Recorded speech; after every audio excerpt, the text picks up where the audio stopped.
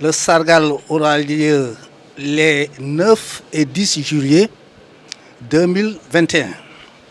Ça va se dérouler au niveau de trois lieux à Dakar. Euh, le 9, le- la première activité, c'est le baptême d'une rue qui va porter le nom de Elagi Abdoulaye.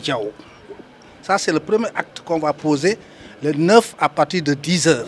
Cette rue va traverser le stade d'Emba Diop, ce qui est très correct et très normal aussi.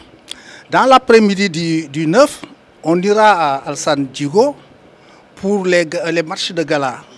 Il y aura trois matchs de gala qui vont réunir euh, six sélections régionales. La sélection de Siguinjor, celle de Kaolack, la sélection de Thiès, de Saint-Louis, les deux- et deux sélections de Dakar. Ils vont se mettre en prise pour faire trois matchs. Ça, c'est la journée du 9. La journée du 10, ça, c'est le clou de l'événement. C'est l'hommage proprement dit.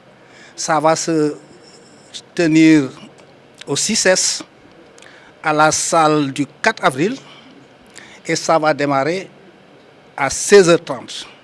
Quand on veut faire un hommage à quelqu'un, on le fait de son vivant, pendant qu'il est avec nous. C'est la première fois, je pense, que- qu'une rue porte le nom d'un journaliste. Ça, ça c'est la première fois.